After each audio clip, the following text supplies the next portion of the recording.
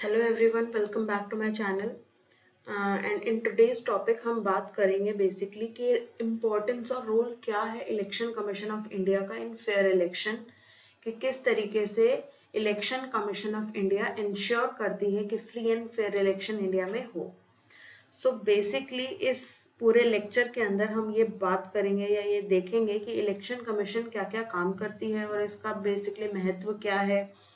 किस तरीके से निष्पक्ष चुनाव ये करवाती है और इलेक्शन इंडिया का बेसिकली कब ये एक बॉडी बनी कब एग्जिस्टेंस में आई कौन कौन से प्रोविजंस हैं फिर कुछ बेसिकली इनके फ़ंक्शंस के बारे में हम देखेंगे। सो so, सबसे पहले तो इलेक्शन कमीशन ऑफ़ इंडिया ये क्या है? एक परमानेंट और इंडिपेंडेंट बॉडी है जिसको एस्टैब्लिश करा गया है कॉन्स्टिट्यूशन के अंदर। डायरेक्टली यानी कि स्पेसिफिकली कोई प्रोविज़न दिया गया है कॉन्स्टिट्यूशन के अंदर जो इलेक्शन कमीशन को गवर्न करता है। एंड इलेक्शन कमीशन क्या इंश्योर करती है या बेसिकली क्या रिस्पॉन्सिबिलिटी देकर इसको बनाया गया है? सो so बेसिकली इस बॉडी की रिस्पॉन्सिबिलिटी है फ्री एंड फेयर इलेक्शन को कंडक्ट करना इंश्योर करना। कौन से प्रोविज़न है इंडियन कॉन्स्टिट्यूशन के अंदर? सो आर्टिकल 324 से 329 के प्रोविजंस कंसिस्ट करते हैं। इलेक्शन कमीशन के रिस्पेक्ट में। अब देखते हैं रोल इलेक्शन कमीशन का रोल बेसिकली है क्या? सबसे पहला रोल है कंडक्ट करना इलेक्शंस तो अगर हम बात करें आर्टिकल नंबर 324 की तो जो कॉन्स्टिट्यूशन का आर्टिकल 324 है, वो प्रोवाइड करता है दैट जो सुप्रिटेंडेंस की पावर है डायरेक्शन की पावर है, या control of election of parliament की पावर है। अब इलेक्शन ऑफ़ कौन कौन से की हम बात कर रहे हैं? अगर पार्लियामेंट का कोई इलेक्शन होता है, स्टेट लेजिस्लेचर का इलेक्शन होता है, प्रेसिडेंट का इलेक्शन होता है, वाइस प्रेसिडेंट का इलेक्शन होता है, इन सभी के इलेक्शंस के अंदर किसके पास पावर होगी? इलेक्शन कमीशन के पास। Parliament, state legislature, president and vice president.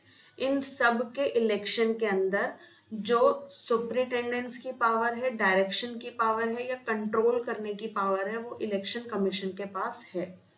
अच्छा दूसरा पॉइंट क्या है? तो ये इंश्योर करना a level of playing field.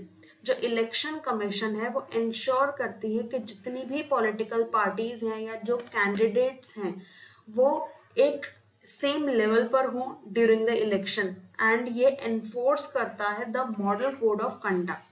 जैसे कि इलेक्शन के दौरान किस तरीके से सब पार्टीज़ को, सब कैंडिडेट्स को किस तरीके से बिहेव करना है, क्या गाइडलाइंस हैं, क्या नहीं है तो जो इलेक्शन कमीशन है, वही ये गाइडलाइंस को लेट डाउन करता है। और जो भी मॉडल कोड ऑफ़ कंडक्ट है, उनको अप्लाई करता है फॉर पॉलिटिकल पार्टीज़ और जो भी कैंडिडेट्स हैं इलेक्शन के, उनको ये मानना ही पड़ेगा, वो बाउंड है इन गाइडलाइंस से। इसके बाद आता है role with respect to political parties. अब जो दूसरी पॉलिटिकल पार्टीज़ हैं उनके प्रति भी उनका क्या है कोई वो है रोल है या कोई महत्व है उनका।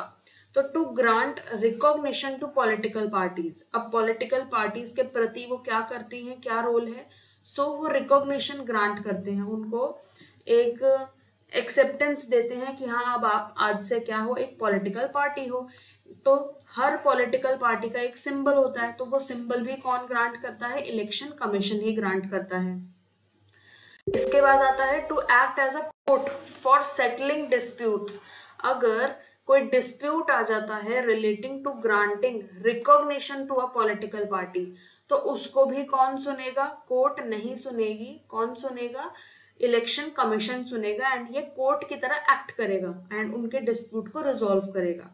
एंड अगर कोई सिंबल अलॉटमेंट के रिगार्डिंग भी अगर कोई डिस्प्यूट आता है, जैसे सिमिलर अगर सिंबल हो जाते हैं कोई दो पॉलिटिकल पार्टीज़ के, और जो आम जनता है वो मिसलीड हो रही है उससे तो कोई भी एक पार्टी जो है वो डिस्प्यूट को ये रेज करेगी करेगी। तो जब ये डिस्प्यूट आ जाता है तो इसको रिजोल्व करने के लिए इलेक्शन कमीशन सामने आती है एंड एक्ट करती है एज अ कोर्ट इसके बाद वोटर की एजुकेशन जो इलेक्शन कमीशन है, वो कंडक्ट करते हैं वोटर एजुकेशन प्रोग्राम्स यानी कि अवेयरनेस फैलाने के लिए या लोगों को अपने राइट्स और रिस्पॉन्सिबिलिटी बताने के लिए और उनको जागरूक करने के लिए अलग अलग से प्रोग्राम्स ये ऑर्गेनाइज करते हैं कंडक्ट करते हैं, ताकि लोगों में जागरूकता बढ़े, लोगों को पता चले कि वोटिंग की क्या इम्पोर्टेंस है।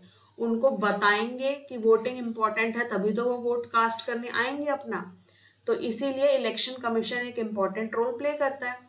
इसके बाद आ जाता है मॉनिटरिंग इलेक्शन एक्सपेंडिचर जो भी इलेक्शन के दौरान एक्सपेंडिचर हो रहे हैं या एक्सपेंडिचर किए जा रहे हैं पॉलिटिकल पार्टीज़ के द्वारा या फिर कैंडिडेट्स के द्वारा इलेक्शन के दौरान तो उनको इंश्योर करना है that they do not exceed the limit set by the law law ने एक लिमिट सेट कर दी। जैसे for example one lakh rupees उन्होंने लिमिट सेट कर दी। तो इलेक्शन कमीशन चेक करेगी कि वन लाख से ज़्यादा खर्चा ना हो इलेक्शन के अंदर बाय द पॉलिटिकल पार्टीज़ और कैंडिडेट्स नेक्स्ट आता है एड्रेसिंग इलेक्टोरल मैल प्रैक्टिस जो भी इलेक्शन के अंदर मैल प्रैक्टिस हो रही हैं, उनको एड्रेस करना। अगर कोई हो रही है इस तरीके की मैल प्रैक्टिस तो उसको नज़र में लाना, उसके अगेंस्ट स्ट्रिक्ट एक्शन लेना जैसे कि booth capturing bogus voting intimidation of voters तो ये सारी क्या है? ये मैल प्रैक्टिस हैं, ये अलाउड नहीं है। अगर आप कोई एक बूथ पे कुछ ऐसा कैप्चर कर लेते जैसे हर इलेक्शन के अंदर ये इस तरीके के कभी कभार क्लेम्स होते हैं कि वोट जो है दिया गया था एक पार्टी को बट वोट काउंट हुआ दूसरी पार्टी के फेवर में। तो ये क्या है एक तरीके से बोगस वोटिंग या आप वोटर्स को किसी तरीके से इंटिमिडेट कर कि वो दूसरी पार्टी को वोट ना करे। तो ये सब मैल प्रैक्टिस हैं जो अलाउड नहीं है एंड इलेक्शन कमीशन पूरी तरीके से ऑथराइज है कि वो एक्शन ले सके इन मैल प्रैक्टिस के अगेंस्ट इसके बाद आ जाता है importance of election commission of India इसका सबसे पहला इंपॉर्टेंस है कि फ्री एंड फेयर इलेक्शन को इंश्योर करना। प्राइमरी रिस्पॉन्सिबिलिटी इलेक्शन कमीशन की यही है कि उनको फ्री एंड फेयर इलेक्शन करना है। तो किस तरीके से किया जाए? वो सब कुछ ये देखेंगे। ये क्रूशल है मेंटेन करना कि भाई क्रेडिबिलिटी हो इलेक्शन प्रोसेस के अंदर। क्रेडिबिलिटी तो होनी चाहिए ना।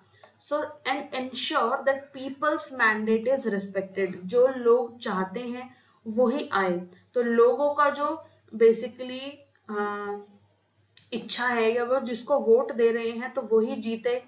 तो ये ट्रांसपेरेंसी रहनी चाहिए, ये क्रेडिबिलिटी मेंटेन रहनी चाहिए, इसीलिए एक बॉडी को हमने बनाया ताकि वो बॉडी इस चीज़ का ध्यान रख सके कि जो लोगों का मैंडेट है उसको रिस्पेक्ट मिल रही है कि नहीं मिल रही है।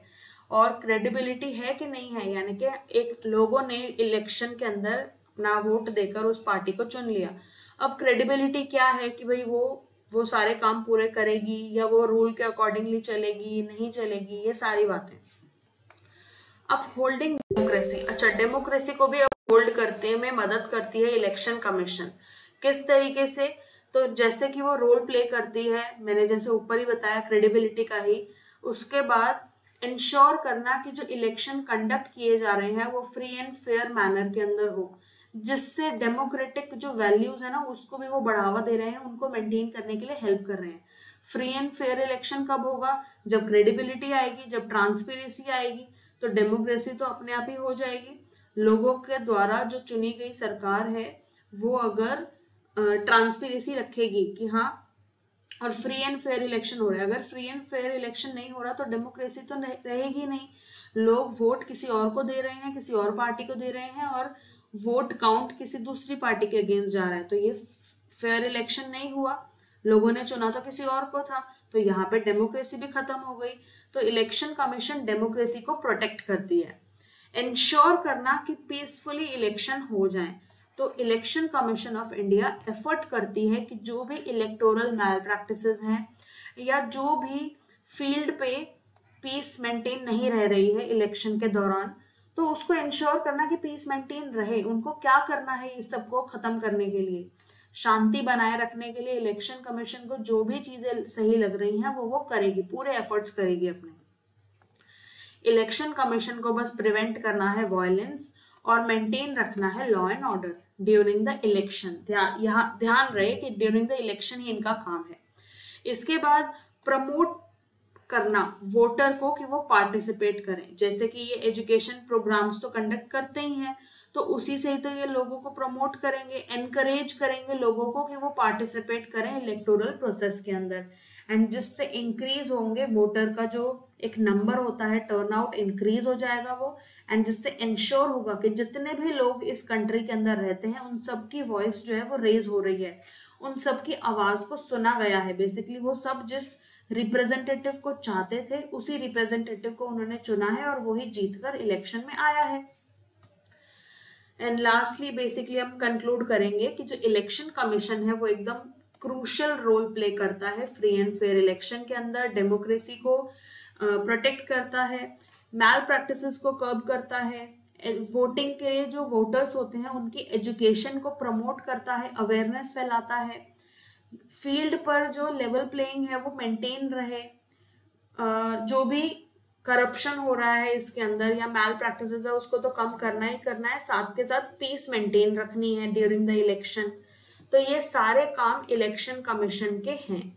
और जो इम्पोर्टेंस इलेक्शन कमीशन की है, वो डेमोक्रेसी के लिए तो है ही। जैसे मैंने बताया, साथ ही साथ ये बहुत ज़्यादा ज़रूरी है कि इलेक्शन कमीशन इंडिपेंडेंट और इम्पार्शल वर्क करे। अगर इंडिपेंडेंट और इम्पार्शल नहीं रहेगी इलेक्शन कमीशन तो डेमोक्रेसी भी नहीं रह पाएगी। वो अपना काम प्रॉपरली नहीं कर पाएँगे।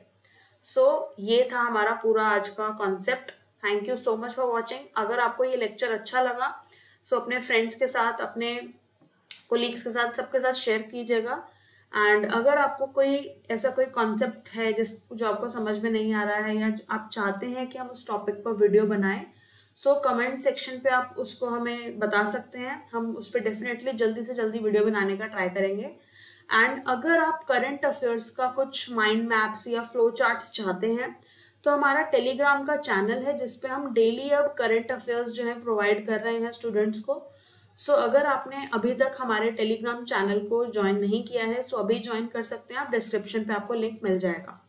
So that's it for now thank you so much for watching and see you in my next video